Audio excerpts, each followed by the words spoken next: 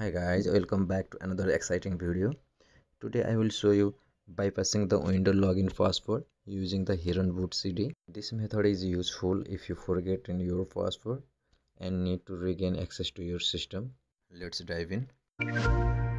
First download heron boot cd open your browser and go to the official website of heron boot cd make sure to download the latest version of heron boot cd iso file to your computer for better compatibility. Heron Boot CD is a powerful toolkit for troubleshooting and repairing Windows system.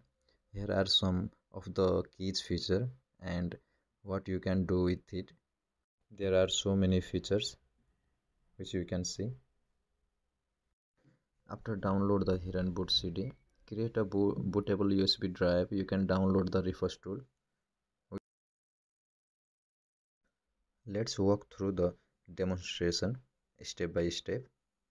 I'm restarting the device. And you can see that my device is currently logged and the username is displayed is geek. Now plug in your heron bootable usb drive and reboot your laptop. Enter the boot menu by pressing the required key usually f2 or f12 and just select your USB drive and hit enter. It will take some time for Heron Boot CD to load and set up the graphical interface. Once Heron Boot CD has loaded, open anti-password edit to bypass the password. As you can see, this is the path of the SAM file the SAM file is a critical database used in Microsoft Windows to store users' account details such as a username, password and other security related information. Now I am resetting the password for the Geek user.